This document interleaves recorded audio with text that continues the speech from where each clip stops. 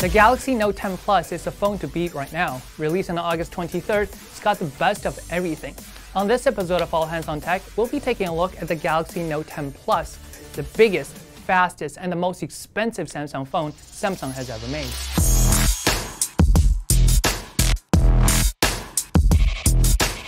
The Galaxy Note 10 Plus is all glass both on the front and the back.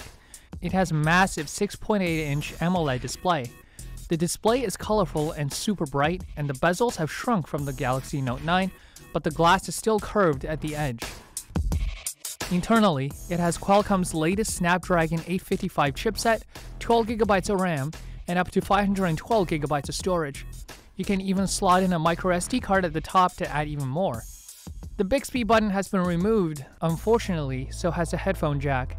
Wired headphone users will now need an adapter to connect to the USB-C port. The Note series' best feature is obviously the pen. You can use it to take notes, draw diagrams, or doodle to your heart's content.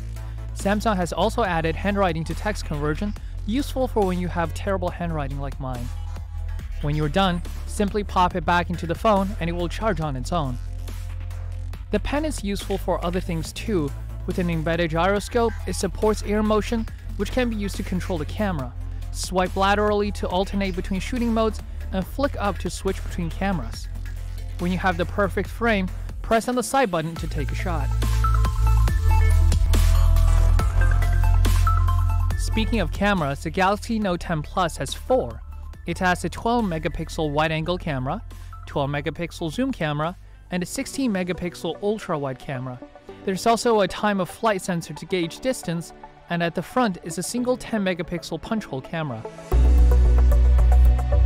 With a Titanic 4300 mAh battery, you can shoot all day and night, and then all day again.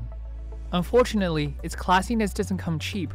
All the premium features land the Note 10 Plus at an astounding 1469. It comes in Aura Black, Aura White, and Aura Glow color options. That's it for our brief overview, but there's still a lot more to talk about, so make sure to read our review on itworldcanada.com. Thank you for tuning in to Hashtag Trending. I'm Tom Li, and I'll see you in the next episode.